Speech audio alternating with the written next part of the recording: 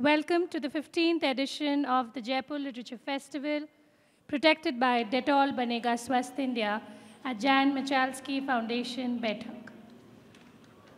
The festival brochure and flyer with details of the full program are available for purchase at the information desk. We are delighted to introduce Shringar and the Dance of God. This session is presented by Red FM.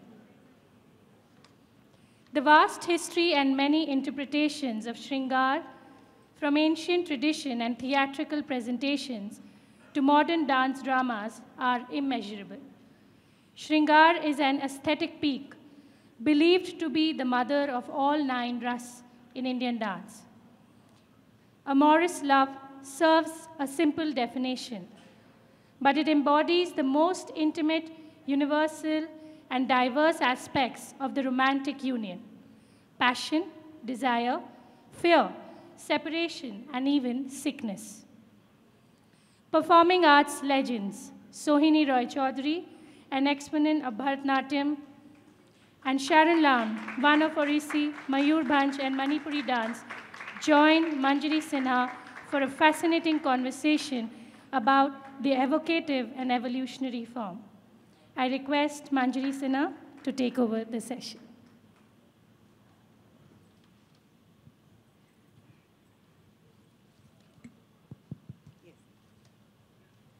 Thank you very much uh, for the nice introduction.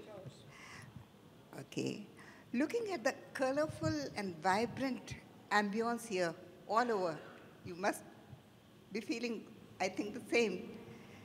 Experiencing the vibrancy of the whole ambience of this fe- festival. I remember Kalidas in Ritusamhara talking about Vasanta. Druma sapushpa salilam sapadmam striyah sakama pavanu sugandhi sukha pradosha divasashcharamya sarvam priye charutaram vasante. The vernal trees are full of flowers, waters filled with lotuses, breezes loaded with fragrances blowing agreeably, augmenting the desires of sensuous women. Both the evenings and the daytimes are pleasant. Oh dear, everything is extremely pleasing in Vasanta, the season of spring. There couldn't have been better time to explore Rasaraj Shringar than at the time of Rituraj Vasant. I am Shringar.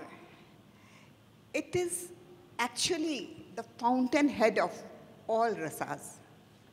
From time immemorial, our scholars, treaties, academicians have talked about rasa siddhant. What is Shringar ras? Ordinarily, it is just love between a man and a woman. But when it comes to our arts and poetics, it becomes the Shringar ras. Every art in our culture has got something to do with the rasa. That gives the high to the spectators of art who see or who interact with us. The relish of the aesthetic bliss, the aesthetic delight. And they are all in ourselves. We all know, we all know what love is. But when it comes to Shringar Ras, Bharata has said in his Natya Shastra that there are, he has said eight, but now we can understand nine rasas, which are associated with the feelings. Let me tell. The Shringar, which is, of course, erotic, hasya, comic, karuna, pathetic, rudra, fury, veera, heroic, bhayanak, fearful, vibhats, odious, adbhut, marvelous, and chant, peaceful. So, when we come to Shringar, and I don't think there could have been a better books than Shringar and classical dances.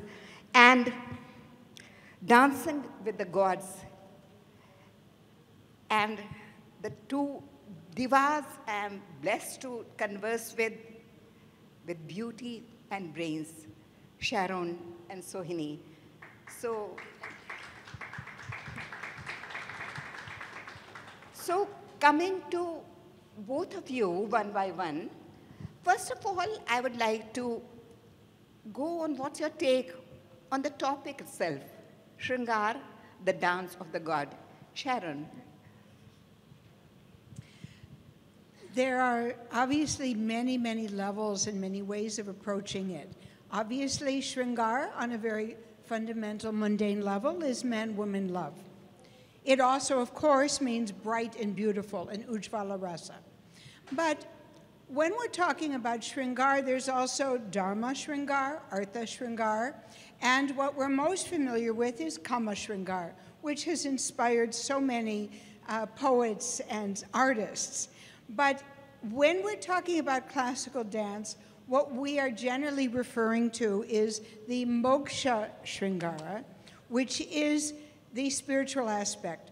When we talk about, uh, you know, that the classical dances are coming from a spiritual consciousness, this doesn't mean that the dance you see on the stage today is necessarily spiritual, because it can be simply entertaining. It's no longer in the temple. It's come to the stage, and you have many options.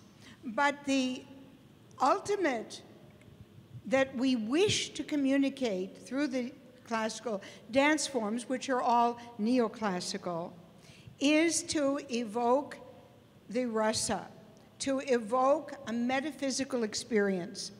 And how do we do that? You have to start with mundane. You have to start with human love. Now, we all know that um, most Western traditions, for various reasons, have separated the, um, the spiritual from the mundane unless you have like the ecstasy of Teresa or in the Bible, the Song of Solomon. You don't have that much of the erotic or the sensual expression. But here, it's been a part of Indian aesthetics that the idea of taking what we understand on a human level of love and trying then to extrapolate that to the non duality the unselfish love that will actually give you a metaphysical uh, non dual experience. And obviously, we all start with the, um, the forms, and ultimately, we want the nirguna, the formless. So, um, we have, uh, for instance, it's, it's very common for young students of dance to say, this is so retrograde. Why all this pining? Because when we have, yes, love and separation, love and union, the union is very brief, the separation is long. But when we have the nayakas, you have their various states, their preparation, they're going to meet the beloved, uh, the waiting, the pining, uh, the disappointment, the, the, you know, the, the um, uh, eight stages. You also have the different kinds of heroines, from the, the mugdha, the, the unsmelt flower, to experienced, and in a way more significantly, is that you have what we generally tried to show is the Uttamanayaka, the very refined rather than the ordinary one. The easiest example is that, for instance, in uh, Yahi Madhava from Git Govinda, uh, when Krishna shows up in the morning, four o'clock in the morning, with all of the signs of having uh, made love passionately, because there's scratches and everything, uh, to another. If it was a uh, Adama, well, an Adama Nayaka, she would immediately, if she was home, get out the frying pan and beat him. Or uh, the uh, uh, Madhyama, you know, would shout and scream. But what does Radha, who's an Uttamanayaka, do? She looks at him and she sees these signs and she thinks, Acha, this is what it is. This is what you've been doing. This is who you are. You who are divine and inside you're very dirty. Now, the reason all of this long arc, going through all of the lovely Prema Rasa and the Ras Lila and all of that, in the Git Govinda, the reason that he has come to her like this, and he makes excuses because he doesn't want to hurt her, because she's almost perfect. But for all of us, no matter how much we try and control our negativities, the ego is the last to go. She must give up her ego to have the pure Shringar Bhakti, to understand that he cannot belong to her alone. He totally belongs to her, but he totally belongs to everyone else. That's when you finally have the union. And the union is also a metaphor for um, uh, uh, Parush and Prakriti, for Jivatman and Paramatman. Um, and but again, there's many levels. And then we talk about Devadasis. The Devadasis were both dancing in the courts for the kings, which is Kama, and we also have them dancing in the temples. There were some absolutely dedicated only to the spiritual. And just like we ourselves can switch between, you know, mundane and ultimate. So, but the Madhura Bhakti, there's also, of course, Vatsalya, love of child, Saka, friends. Yes, but you have to, uh, but the Madhura Bhakti, the love as uh, uh, for, the, uh, for the divine, uh, through this uh, Shringar Bhakti, is something that's very special. And then, of course, what, what she's focused on is the overarching fact that we are talking about the divine, all of it. And this is, in a way, a subset. Go on. Thank you. Uh, she was so taken by the divine aspect. I really appreciate her uh, feelings, which were coming out very warmly. So now coming to you, uh, Sohini, um, just your idea, your take on the Shringar and the dance of God. Thank you. Very happy to be on stage with both of you, institutions. so this is something I'm going to proudly tell my grandchildren also, that I've been on stage with both of you, and very happy to be with all of you here. Happy for your time and empathy. Shringar to me is the love rasa. And as Tagore has said, that love is all there is, it's the only reality. And it's not a mere sentiment. It lies at the heart of all creation. And Shringar for me, on stage, in life, in divinity, and in human life, it's all about love. It's how in Kumar Sambhava, Kalidasa describes Shiva and Parvati making torrential love when Kartika is conceived. It could be Shakuntala waiting for Dushyant pining for him, Radha pining for Krishna, which is divine love, again, a metaphor for the individual to connect with the divine. It could actually be Faust, it could be Prometheus Unbound, it could be Frankenstein, and it could be Othello and Desdemona too. So, love in all its shades, in complete honesty, in romantic love, in spiritual love, connecting hearts, lust, languor, and its brutality. That's Shringar for me, Ardhanarishwar, when Shiva and Parvati combine to form one whole, being totally in love, and Shiva is one of the greatest feminists because there was no ego there. Similarly, you have Hermes and Aphrodite combining to form one whole, that combination of equal man and woman, for me, is Shringar. Shringar also could be as defined by the Kolahal Theatre Workshop, where Bhanumati is a transgender, and uh, she and he is playing the woman protagonist in all theaters, falls in love with Master, the hero of it all. And that uninhibited love and the brutality that it meets, but purity of love, even between the LGBTQIA community or the transgender community, for me, that's Shringar. The Shringar is what we feel when today we pray that Russia and Ukraine stop the war and humanity is saved. We'll probably never go to Ukraine. Maybe I'll never meet an Ukrainian person in my life. I don't know. But all of us are in this silent prayer that the war should stop and humanity should sustain. That concern, that large wave of love, which overwhelms all of us and humanity as a whole, for me is Shringar. Thank you. Thank you. Thank you very much. Looking at the um, title of your book, Dancing with the Gods, this brought this question to my mind.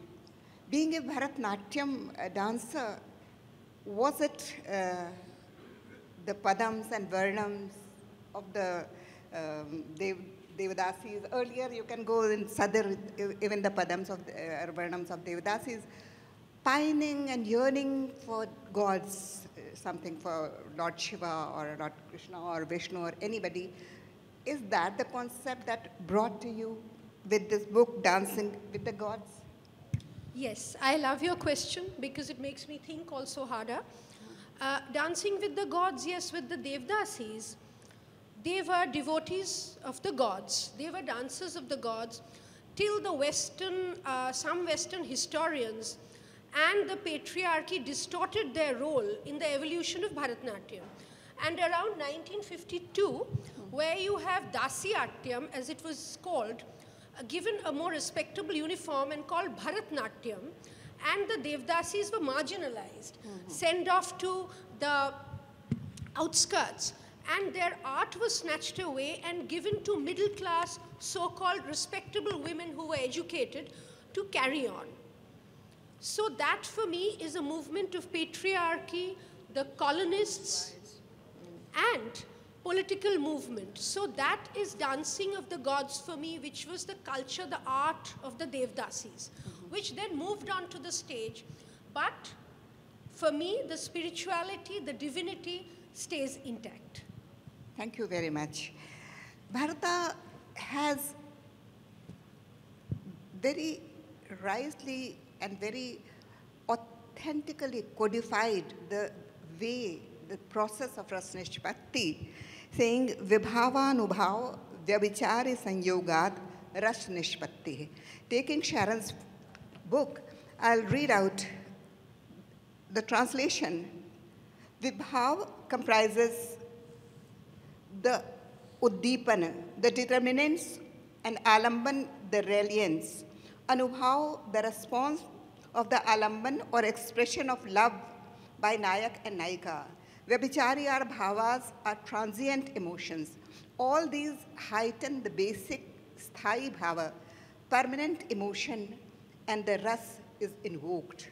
The ras is invoked not only the dancer or the person who is emoting it, but also to all of you, the rasikas. So, Sharon, looking at your book, the question comes to my mind how could you what has been your journey with this book? Inviting so many people to talk about their own dance styles and Shringar, how it has been dealt there. Tell me how you went about it. You mean, you mean the journey for this particular yes, book? Yes, yes, yes. Let me show them such a beautiful. Actually, uh, let me the let me have you show the slides. Okay. Uh, I do have some slides I had prepared of the book. You can have a whole glimpse of Just the book. Just to give a quick glimpse this, of the book. Uh, PowerPoint so position. Here's, here's the title, Shringar in Classical Indian Dance, yes. because obviously this is a pan-India subject. It's something that, um, uh, you know, after independence, we talked about national integration, unity and diversity. And this is certainly an example of that. Um, so here, as, as Manjari Sinha had said, these are your basic rasas, but Shringar is considered the king of them all, and it also can include all of them. And this is not only obviously in dance, but it's the core of all of the aesthetics. Um, And you know, this is something that is quite unique to classical Indian dance that we have the opportunity, because the dancer is also an actor, and we are interpreting text, and that way we can bring out this unselfish, unconditional spiritual love through these metaphors of the poetry. In Bharatanatyam, her style, the seeds come from the Sangam literature, which was before there was actually the dance tradition. And of course, in, in Orissa, uh, as we know in medieval times, the Bhakti movement, um, when the poet Jayadev wrote the Gita Govinda, these were the only songs allowed to be performed in the temple. So these are the, art, the writers and scholars who had written in my book about their styles. Uh, Kamalini Dutt, of course, is the person responsible for creating as well as saving 50 years of Doordarshan AV. Uh, Anuradha uh, Jonnalagadda was actually my student when I helped set up the Central University Sarojini Naidu School of Visual and Performing Arts. Now she's the dean of the school. Uh, Anwesa Mahanta is brilliant about um, uh. And Anupama Kailash is an exponent of Vilasini Natyam, which previously was called Andhra Natyam. It's the Devadasi tradition from Andhra Pradesh. Then Bharti Shivaji wrote on Mohiniyattam. I've, of course, covered the Odissi. And Shovana Narayan is a very prolific scholar and artist, and she's written about Kathak. So um, everyone who's written about it is a practitioner as well as someone who's gone into the foundation and the background of it. So you can get really where is the emphasis and how it's developed. Um, um, I was very happy that Lakshmi uh, Vishwanath was kind enough to write an overarching introduction to give us the context of the Sringara, cover kind of the basic theoretical things that you'll find in Natya Shastra, so that when we talked about our individual styles, we didn't have to do that. Um, and nobody better than Kamalini Dutt to uh, talk about Bharatanatyam.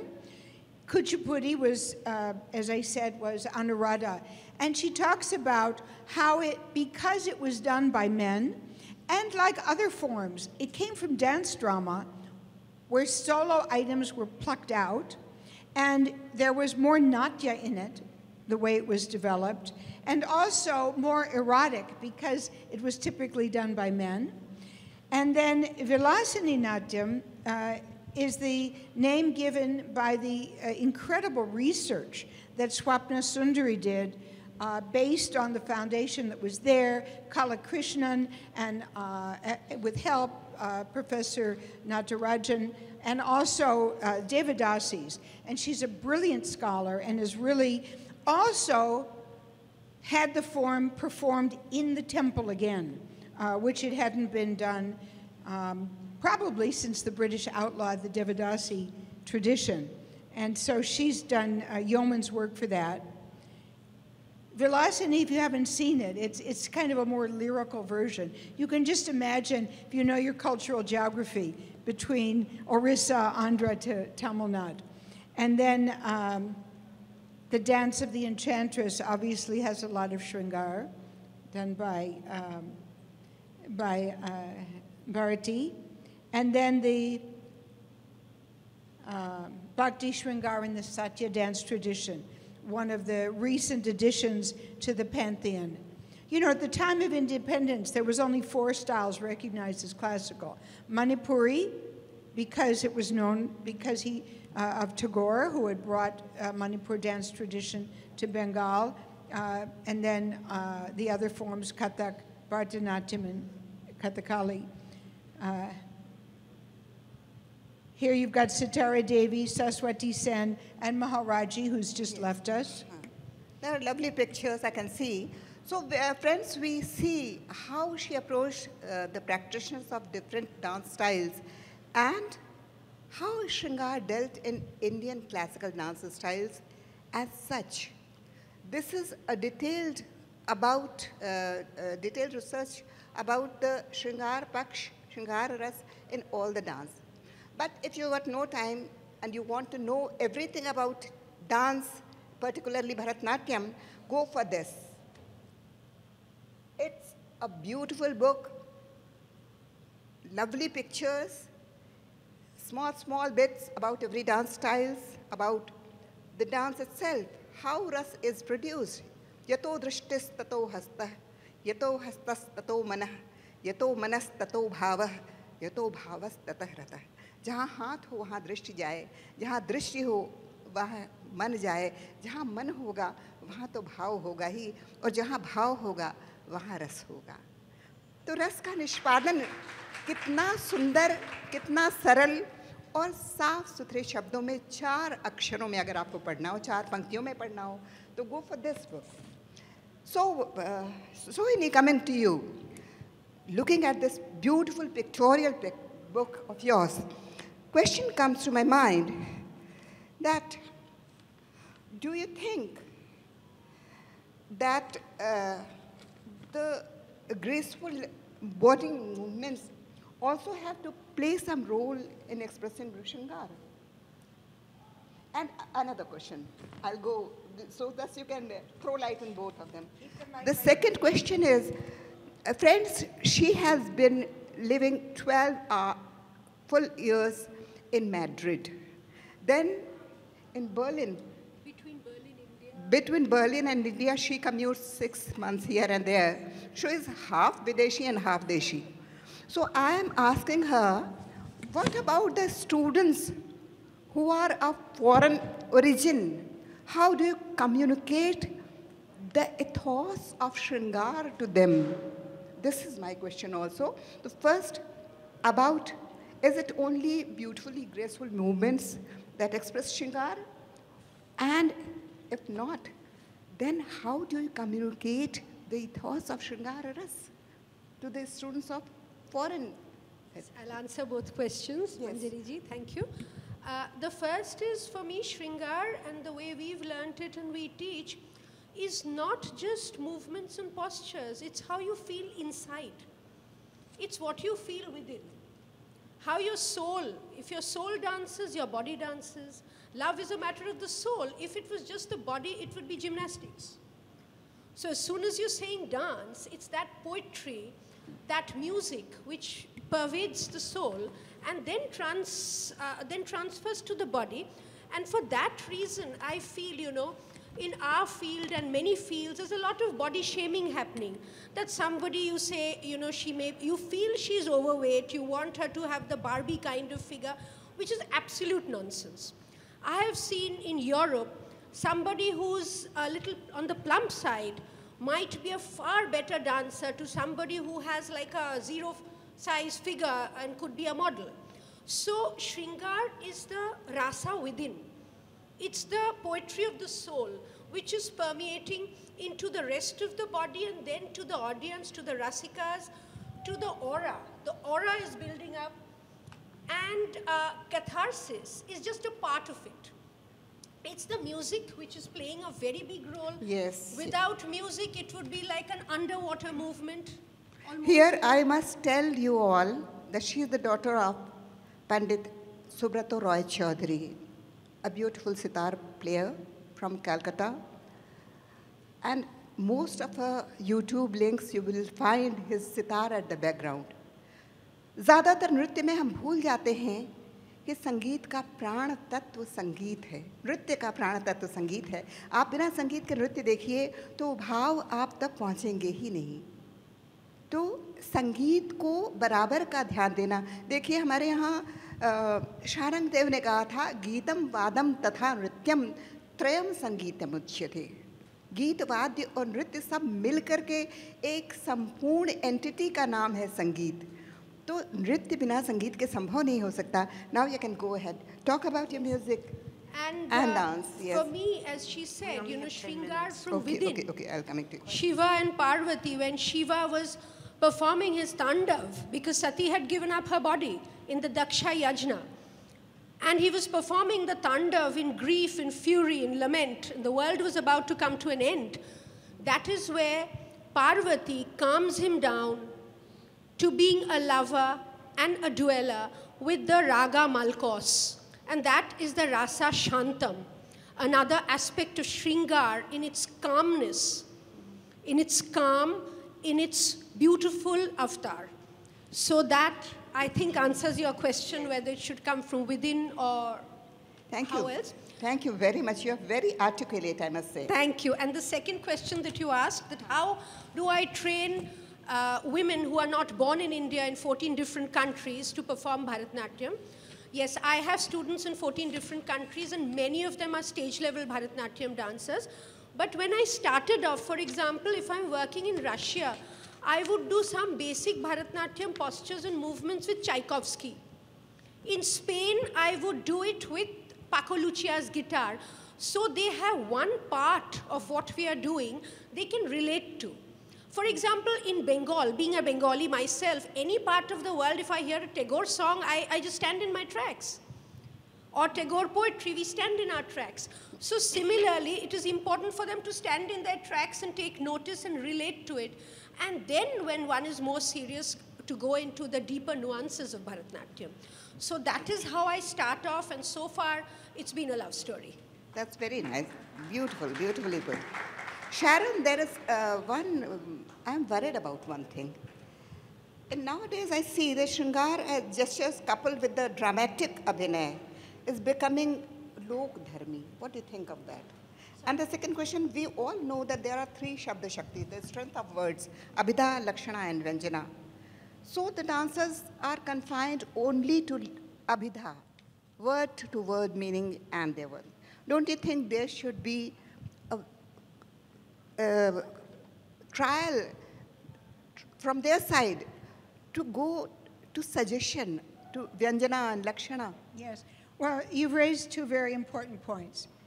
Alokadarmi obviously means more um, uh, uh, pop. Uh, Lokadharmi is of the people. It means uh, more like acting. So, for instance, if one person is creating all the atmosphere and all the characters, that's considered a higher aesthetic challenge than in a drama where you've got different characters and you've got settings. It might not necessarily be the case, but that's like a, an overarching thing.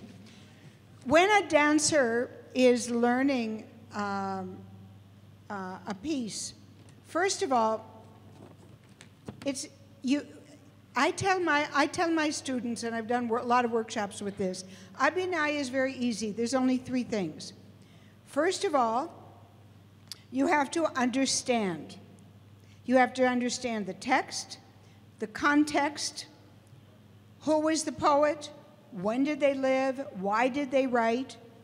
When we talk about the different stages of, say, the Nayika, the heroine, there's different stages of her, there's different types, and in fact, where did I write this down? I have the notes, yes. There's like, there are classifications between the Nayika Bhed and the Ashtanayikas comes to like 384 different subcategories of the type, the situation, and their character. Now, you know, you all know the story about if you want to learn this, you have to learn that. You can't learn painting till you learn dance, till you learn sculpture, till you learn music, till you learn architecture, blah, blah, and it's a lifelong thing. So the dancer must make an effort to understand as much of the context. Too often we see a beautiful dancer on the stage and they have a very wonderful stage personality, but it's definitely not an Uttamanayaka. It's not a refined character. Um, you know, you can't be like that. That's not Radha. Yes, just now you told about that- the that's, the, that's the example. yes, yes, okay, so so one thing is you have to understand. Then obviously the- another thing is that your own life development and growth is half your riyaz. So once you understand, eh, which is an ongoing unpeeling the onion, then you have to feel it, and then you have to let it show. You have to let it come out. Now, the other point that you made, very briefly, manodharma. I did a festival. Uh, my next question Yes. was about that. Yes. The paradigm shift you're talking about in the expression of Shringar. So my question is here, is this a, a situation when the younger dancers don't uh, worry to, don't need to worry about the manodharma at all? The spontaneous improvisation is manodharma, what I'm So talking about. So manodharma, In-depth yeah. exploration of particular bhava or avastha, but you all talked about Yes, just now. so- it's all disappearing nowadays. But That's you what I see, the way, the way in Bharatanatyam it was taught was that the guru would give a line. Then you have to interpret it based on your understanding. So let's say you're doing an Abhisarika, Radha's going to, out to meet Krishna. Oh, you can show going out of the house, you can show putting out the light, you can show stepping on thorns, being afraid of people. There's all these different things. Um, if you're in a happy mood, the moonlight is beautiful. If it's if you're miserable and separated, it's burning you. When you understand these things, then the dancer just is spontaneously creating. That's very different than when someone has made a choreography and you learn it. Because that was created one time and really for like one dancer. So, um, and today, of course, you don't, dancers don't get the opportunity to discover the art, to share it. It's not easy to hold the stage for two and a half hours as our programs were. People are doing group, but you're losing a lot with that. Uh, This, I, I would like to uh, ask this question to you also, Sohini. What do you think about this paradigm shift? The details of the uh, Nayak and Nayika bhav or the avastha or the different kind of Nayak and Nayika, these are all disappearing nowadays. Uh, yes, it is disappearing, but the difference one is when you learn some part and improvise on some parts, because what we perform is part, it, it's, it's a structure, and we improvise within that structure. We cannot go out of it, like the raga roots. So that structure is there. And when we are talking about uh, the drama part, it is what you have in the films also. One, you have the method acting, and you have the spontaneous acting. So similarly, I also think that disappearing may be uh, due due to lack of training. So it's easier to do something impromptu and say, oh, it's very contemporary and this is no. I think everything, the gravitas stays when you've learnt. And then you've chosen to do things differently. But that learning needs to be there. So maybe it's disappearing because that learning process has suffered. With internet, a lot of stuff is available to us, but a lot uh, also there are too many distractions. So maybe all that contributes to it, but I think if your soul dances, your body dances. If it's coming from within, even without method acting, you can be fantastic. And with all your training also, you can fall short. So it, it is something that comes from the heart. Thank you, You know, very one- much. one thing I'd like to add is one of the reasons that I decided to stay on living in India was the opportunity to have musicians to work with, to perform with a live orchestra. So it's a partnership. Now, when you have a live orchestra, that means you can have the freedom so that you can create this and you can say, um, you know, until I do this thing, keep repeating the line. But when you have recorded music, you're stuck. By talking to both of them, I understand that the ethos of Indian classical dance and Shringar in the Indian classical dance has do something with Madhurya. Right now, I was outside listening to Dr. Harsh Daheja. He said, Krishna is ras and rasika both. He is smaran and vismaran. उनकी जो बांसुरी की माधुर्य है उनके संगीत का माधुर्य जब कानों में पड़ता है तो भूली हुई कितनी ही बातें याद आ जाती हैं हमें अपना स्मरण हो आता है हमारी भारतीय कलाएँ हमें अपने अंदर झांकने का अवसर देती हैं it's a way to reach your own inner self In that sense, I think Shringar is the most potent of all rasas. And I am fortunate to have people like this to talk to, Sohini and Sharon. You beautifully explained the Shringar, the madhurya, the divinity inside the Shringar that we see in our arts. So I'm very grateful to both of you to D- uh, JLF for giving me this opportunity ha- to meet and have this session together, and of course, all of you for Now it's a suffering us so patiently and so nicely. Thank you very much. Now the questions, if anyone has any. Questions from the audience, please? Yes.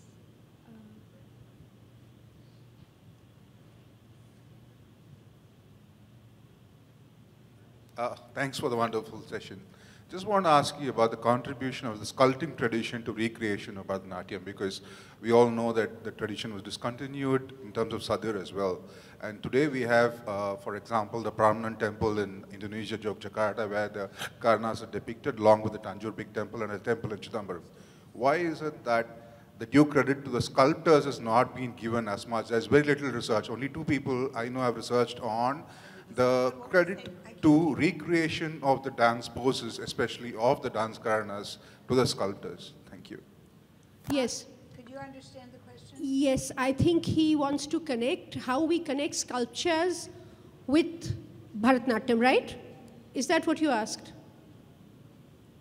Are you asking about the Karanas or modern sculpture or ancient? I'm sorry. I'm talking about how dance, as you recreated it, takes inspiration from the sculpting tradition.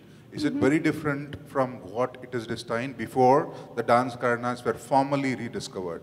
In, in Odissi, my, because these dances are neoclassical, right? They're all, re, most of them are reconstructed over the last couple of hundred years. So my guru, Kelucharan Mohapatra, who was a genius, and who came from a Patachitra family, so he had all of the aesthetics, he studied all of the sculptures. Uh, and that's why if the Gotipuras did this, but he saw the sculptures were like this, so he refined it, absolutely based on the sculpture. And then obviously, Padma Subrahmanyam has taken the, uh, uh, the karanas and said they're not still points, they're moving points, and has recreated that. What would you add? पूछा है सवाल उसका सीधा सा जवाब ये है कि जो सामान्यकरण की प्रस्तुति होती है हम सब में वो श्रृंगार विद्यमान है, लेकिन जब हम कला के माध्यम से उसको देखते हैं तो उसका एक शोध होता है, एक परिष्कार होता है। वो हमको अंदर से ज़्यादा अच्छा इंसान बनाता है। हमारे अंदर के देवत्व को उद्दीप्त करता है। मैं सोच रही हूँ कि आप तक पहुँच गई होगी बात। धन्यवाद।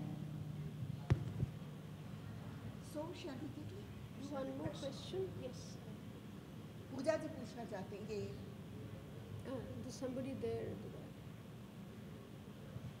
Hello. Yes. Um, you know, we once I was attending a session by B.N. Goswami, who is an expert on Krishna paintings, and we noticed there are certain motifs that have come down from the ages, even in mainstream Bollywood dance. So if you know that song Kajrare, okay, where she's saying Meri Angarai na tute tu aja. Not 100% that was a Shringara Rasa thing. But I want to understand in the disciplines of Odissi, in Bharatnatyam, whether there are such, you might say, set notions or set ideas that, that you reinterpret over time. She Yes. has told uh, about uh, Odissi, now you can tell about Bharatnatyam. Okay.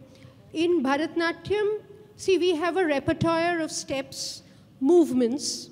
For example, when you write an essay, maybe the first five years you learn your alphabets, and then you learn your phrases and your grammar and your punctuation. And that set into your mind, you can write your own essays, which are creative. So similarly, Bharatnatyam also Shringar, there are cer- certain aspects that you learn uh, where Radha is pining for Krishna, and you're waiting for somebody and you're pining, and that shows not only in Bharatanatyam, but as you said in Bollywood and other contemporary forms, the heroine, the Nayika, is pining for the man to come soon, or is angry because he doesn't turn up, or she's complaining or lamenting. So there is a particular vocabulary. Maybe you learn maybe 100, 100 ways of expressing it. But that is your framework. Within that, you improvise. And Bollywood also is shaped a lot by classical dances and folk dances.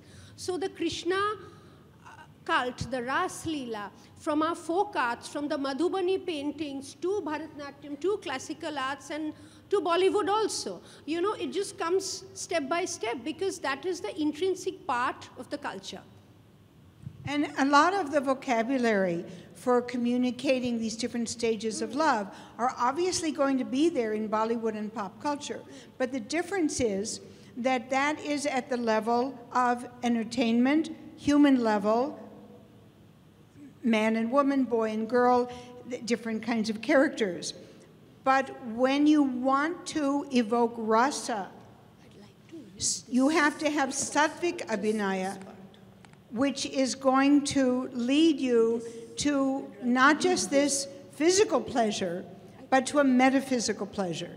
But, you know, as she says, the basic components and the elements are the same. But if you've got, you know, 384 or 1,000 different combinations, um, because we all know that love is very individual and also very universal. So whether you're doing it on a mundane level or you want a metaphysical thing, most of the films are not aiming for a metaphysical level. But they're still wonderful, you know. Do we have time for another question? Yeah. देखिए Shringar or. Uh, mm. May I read out four sentences? Is that allowed? I would like to read out from this book of mine, the preface, which I have written from the heart and which shapes my work. Uh, it's dedicated to all of you. To you, with a dance in your heart, the boy branded effeminate for wanting to learn a dance. To you, the girl forced to choose physics tuitions over dance rehearsals. To you, the 70 year old made to feel too old to swing to the beats of her soul. To you, the young adult forced to forsake dance at the altar of a serious career option. To you, the trans man stigmatized out of dance. To you, body shamed into shying away from swaying in public. May this dance be yours now and forever. श्रृंगार और कुछ नहीं है। हमारे अंदर का जो माधुर्य है उसको इसके चरणों में समर्पित करना है।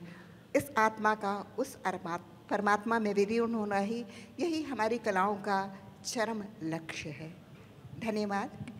Thank you and thanks to J L F and red F M which loves love.